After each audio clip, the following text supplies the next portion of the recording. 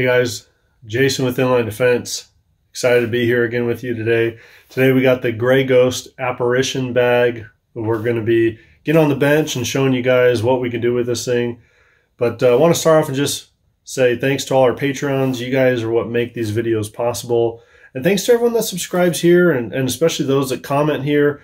Uh, we enjoy reading all those comments and interacting with you guys down there. So please keep that up. Let us know what you like, what you dislike, what you'd like to see different. Um, we really take that feedback to heart and uh, and enjoy it. But for now, let's get on with this uh, with this bag. Show you guys what we can put in it. All right, let's have some fun. And I know what you're thinking. Oh my gosh, Jason is gonna open this thing up, we're gonna see an SBR. Uh, no, nope. I like my dogs too much. Uh, but I do have a pistol in here that I wanted to show you guys kind of how everything fits together. Now, I do really like the gray gray man look of this pack. Um, so this is a firearm that you guys have seen before. It's one that we installed that Odin Mini on. Just kind of want to go through some of the things that we have here. So it comes with this uh, Velcro system already connected in here. Excuse me, already sewn in here and you kind of I don't know mix and match how you how you want to do things. So I have my pistol set up in here. Oh my gosh, it's a terrible SBA three brace. Um, yeah, very scary. So the idea here, uh, the idea would be to have an SBR, which I don't have. Um, but get this thing put together pretty easily. Boom. Right, the mag. It's loaded up. Now ready to rock and roll. Um, cool little pack. It also has some pouches that you can see right here that hold up uh, magazines. This is one of the things that I, I'm not a huge fan of. I, I think that these are made for magazines. I mean, it it looks like it fits a magazine, looks like it was made for it, but this bungee system, you really got to kind of crank on it tight, and even with it all the way over, I mean, that bungee cord is really stressing that, that Velcro right there. So even here, you can kind of hear maybe that it's, it's trying to really tear away from there. Don't know if you can hear that or not.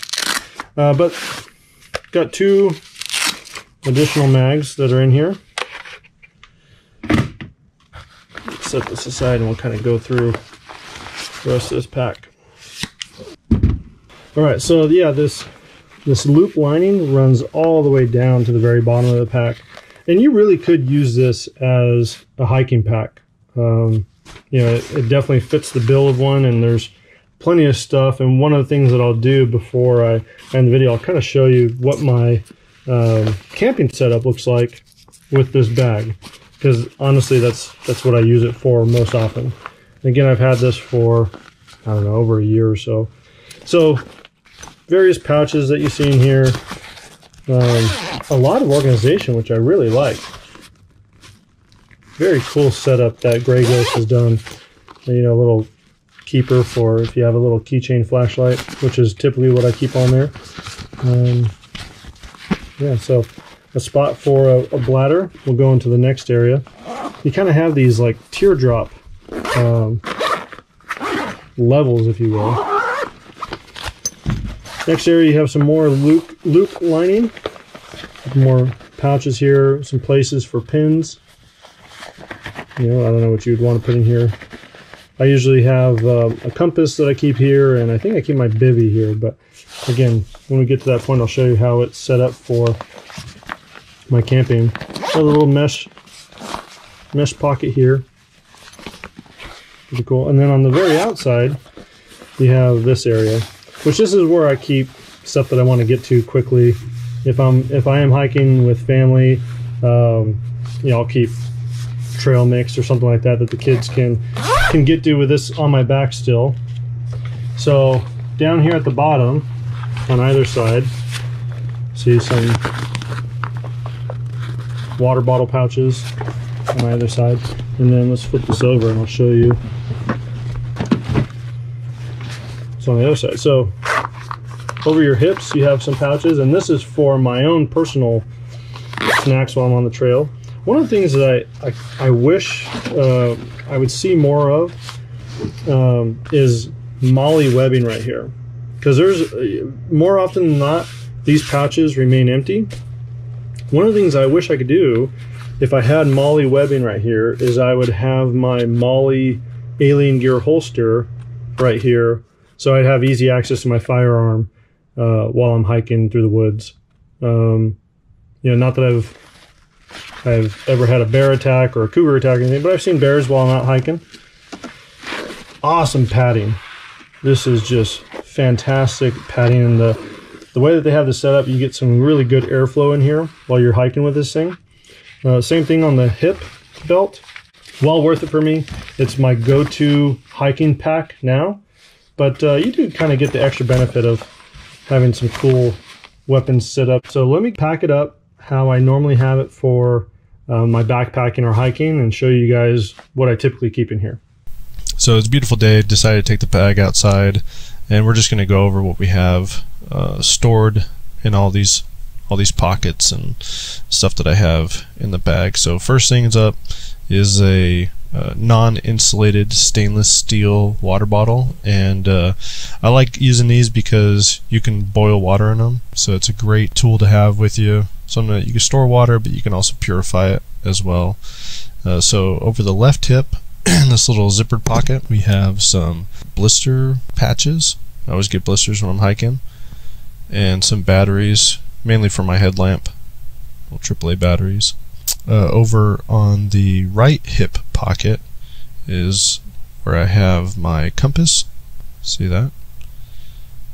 And one of the things that I didn't mention when we were going over it with the firearm is this pocket down at the bottom. You can unzip it and pull out a rain cover for the pack so it fits over the entire pack. Pretty cool that it comes with that. I really do like this pack. But uh, yeah, so bundles right up, stuff's right back in there. One of the things that I wish Grey Ghost would have done, and I don't know if they could have done, is right here on the bottom. If they could have had some, some like I don't know, some nylon straps or something, so that way I could strap a tent or a sleeping bag uh, on the bottom of the pack because the pack is a little too small to hold something like that. But there's really no way to strap something like that to the bottom of the pack like you see with some other ones. But uh, let's go through the pack. We're just going to work from the outside in. So this top pocket, I have some first aid gear, a triangular bandage. I have, uh, let's see here, a SAM splint. It's always great to have when you're hiking. If you break something, twist an ankle, it's good to hold that up. Little trauma pack. So I added some extra band-aids and stuff to that. Just you never know. That's mainly what I what I see. But there's also some gauze, some quick clot stuff that I added into that. All right. So this next area. So I got my Jetboil waterproof matches, my Jetboil, and some extra fuel for my Jetboil. Small canister. What that? Oh, some water purifying tablets. Yeah.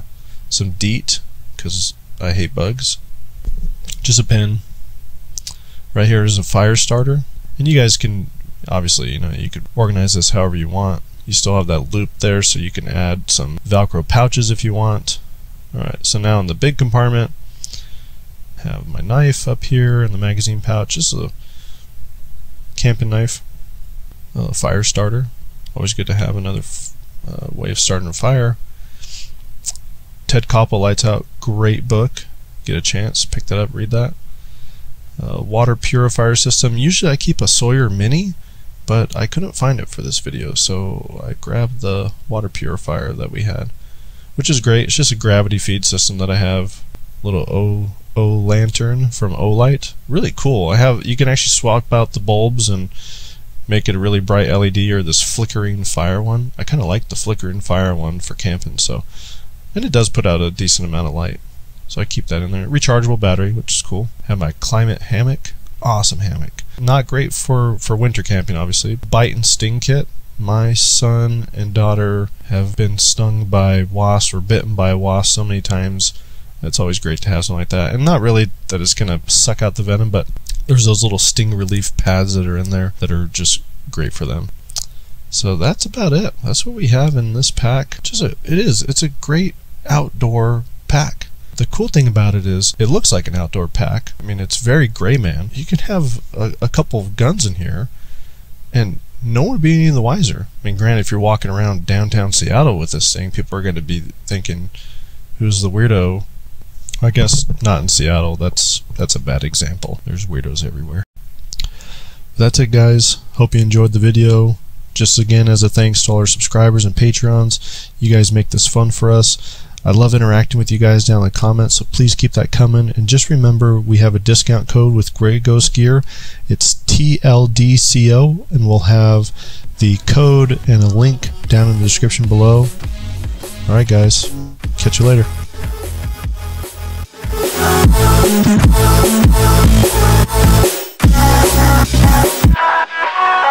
All right, so this pack has been fantastic. You can tell it.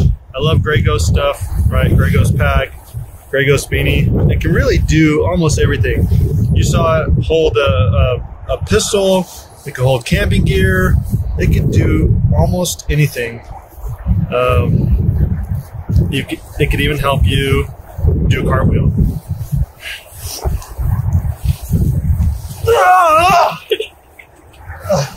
Okay. No, it can't do that. I got too overconfident. Uh, we can do almost everything else. Oh, On my back.